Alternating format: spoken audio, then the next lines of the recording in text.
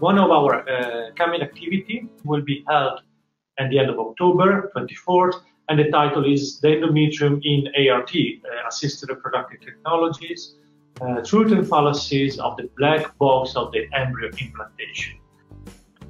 So, uh, this campus workshop organized by SIG Reproductive Endocrinology and SIG Endometriosis Endometrial Disorders will provide an advanced critical appraisal of endometrium and its association with ART.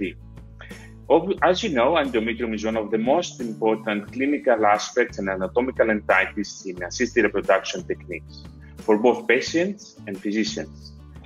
This campus will uh, focus on the controversies surrounding anatomical immunological and endocrinological aspects of the endometrium and their impact on the success successful implantation of the embryo. We will provide a critical appraisal of the existing uh, literature and the course will hopefully provide answers to clinical important questions. During this course, we plan to touch upon the effect of steroids, uh, of hormonal stimulation and, uh, uh for, for ART, and especially the effect on the reproductive endometrium, the window of implantation, which is a topic that has been a little bit uh disregarded or not well studied in the last decade. So uh, it's very important to continue uh, disseminating knowledge, continue what we do uh, with the ESHRE community, and keep organizing our campuses in this virtual platform.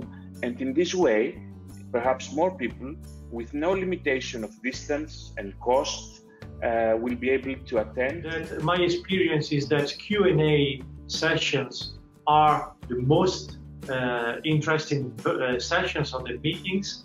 Meeting online is easy and uh, it's comfortable because you can do it from home. To first register, participate, get involved during the meetings, address questions. Sessions. So please uh, participate and uh, you can dare to ask any question you want and you will get an answer from the top experts.